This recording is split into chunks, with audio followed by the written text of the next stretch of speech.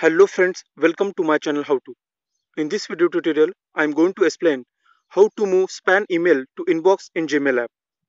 So let's start. First of all, open your Gmail app.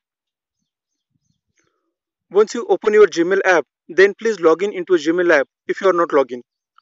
Once you log in into a Gmail app, you can see the interface like this. Then tap on the main menu which is present on your left hand side top corner. Once you tap on your main menu, you can see the option like this. Now scroll down and here you can see the option spam. So tap on the spam option. Once you tap on the spam option, you can see the all the list of spam emails. Now we want to move one of the spam email to inbox. So to move the spam email to inbox, tap on the email. Once you tap on the email, you can see on your right hand side top corner there are three dots. So tap on those three dots. Once you tap on the three dots you can see the menu like this.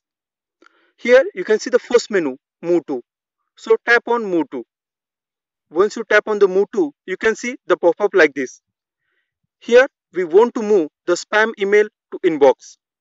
So to move the spam email to inbox select the first option that is primary. So tap on primary and here at the bottom you can see the message move to primary. Means we have moved the spam email to our inbox. Now again tap on the main menu. Now scroll up. Then tap on the primary.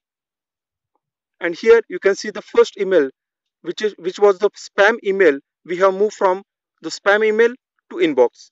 So in this way we can move the spam email to inbox in gmail app.